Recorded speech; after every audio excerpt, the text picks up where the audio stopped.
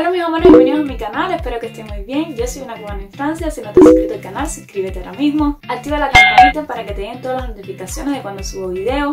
En este video te voy a estar mostrando el Parque de los Lobos. Es un parque muy bonito, rodeado de naturaleza, donde están reflejados los lobos y bueno, se representan a la población. Los precios de la entrada son entre 10 y 15 euros. Hay precios para los adultos, para los niños, para las personas incapacitadas, tanto niños como adultos. Y bueno, sin más, empecemos el video.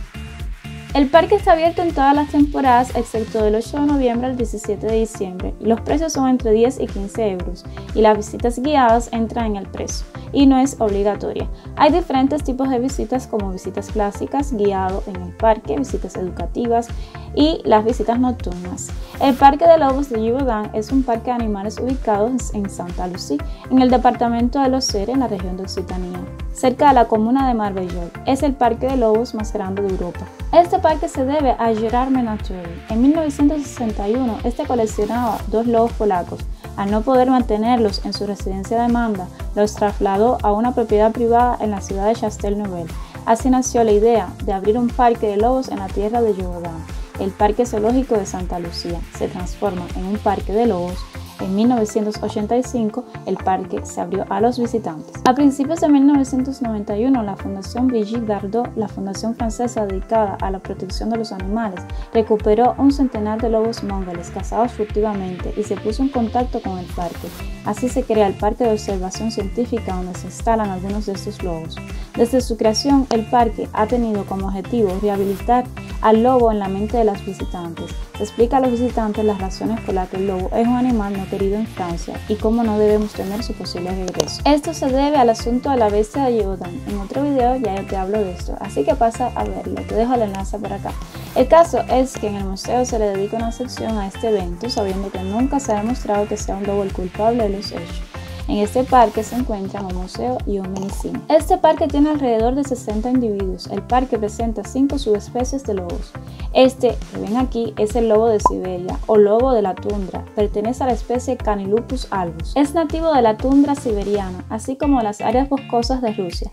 Su pelaje es largo y esponjado y son de piel clara con tonos de color gris claro, negro y marrón en la parte superior.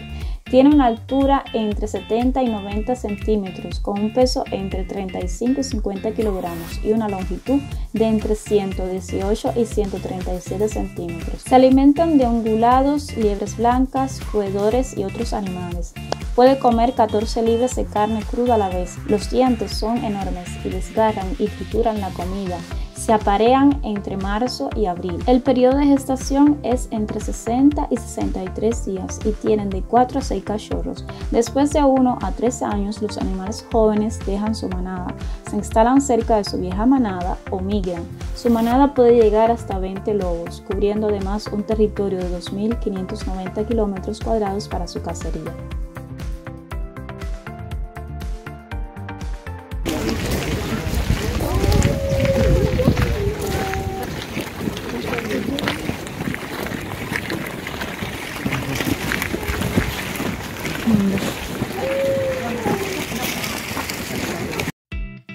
Este es el lobo de Mackenzie, también conocido como el lobo canadiense. Pertenece a la especie Canilupus mackenzie. Es probablemente la subespecie de lobo más grande de Norteamérica. Lo podemos encontrar en los Estados Unidos, Canadá, Alaska. Pesan entre 45 y 65 kilogramos y mide entre 80 y 85 centímetros. En invierno se cubre de una cola esponjosa. En verano, cuando hace más calor, se le cae el pelo interior. Su pelaje es de color variable entre el negro y el gris blanquecino. Se alimentan de grandes herbívoros, animales domésticos, carroña, roedores, pequeños carnívoros, peces, reptiles, anfibios, insectos y frutas. Si una manada es demasiado grande puede estallar el caos y los ejemplares subordinados, hijos incluidos, pueden llegar a matar a los alfas, a veces hasta sus padres, para apoderarse del territorio pueden correr a 60 km por hora, pudiendo mantener una velocidad constante durante 20 km. Cuando una manada intenta apoderarse de un territorio, persiguen a la manada hasta el fin de su territorio con el fin de matar a los alfas. Los subordinados de la antigua manada pueden ser asesinados, expulsados o admitidos, dependiendo del temperamento de la nueva manada.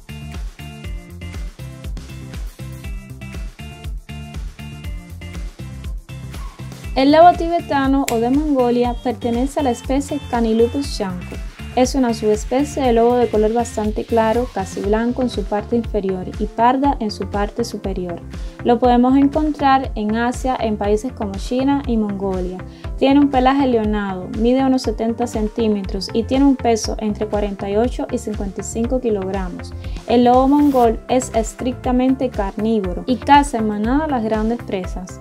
La dieta de estos lobos en su hábitat natural son los ungulados salvajes, corzos siberianos, ciervo rojo, pequeños mamíferos como liebre y ratones, hasta insectos. Atacan principalmente animales enfermos, débiles o viejos. En su país de origen, Mongolia, la subespecie no está protegida y el gobierno ofrece recompensas para cazarla. Los lobos pueden comer hasta 9 kilogramos de carne en una sola comida, luego pueden pasar sin comer durante varias semanas. La vida en manada es la misma que para todas las especies, Pueden haber entre 6 a 30 lobos en una manada. Existe la pareja dominante y cada miembro de la manada tiene su propio rango que tienen que respetar. Los cachorros viven de la leche materna durante las primeras tres semanas de vida, luego comienzan a comer carne que los adultos devuelven. Más tarde seguirán a la manada para cazar. La plupart du temps, en milieu naturel, ce couple, c'est tout bêtement le couple fondateur de la meute, sont les parents, et une meute, c'est une famille. Hein. Et en fait, ce couple va veiller à ce que les autres loups adultes de la meute, lorsqu'il y en a bien sûr, hein, ne se reproduisent pas, il les surveille. Donc c'est surtout avant tout un système de régulation pour les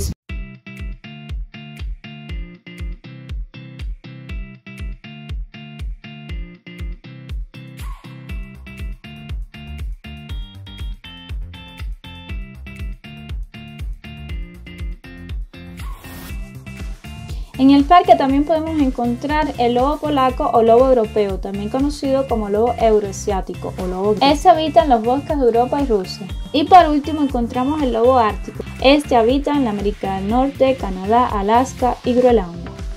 Debido a los comentarios con respecto al parque, de que sus responsables han liberado algunos lobos en la naturaleza, todos los lobos del parque han sido equipados con un transmisor colocado en la yugular. Los lobos tienen una línea de espalda recta, la cola del lobo es tupida y recta y tienden a tener orejas más pequeñas que los perros, que también son densamente peludas por dentro. El lobo en su hábitat natural puede llegar a vivir entre 6 y 8 años. En cautiverio pueden llegar a vivir entre 15 a 18 años. hasta aquí el video de hoy, espero que te haya gustado. Si te gustó el video, déjame una manita arriba, déjame un comentario, que me encanta leer tus comentarios. Un besito a mis suscriptores y nos vemos en un próximo video. Chao.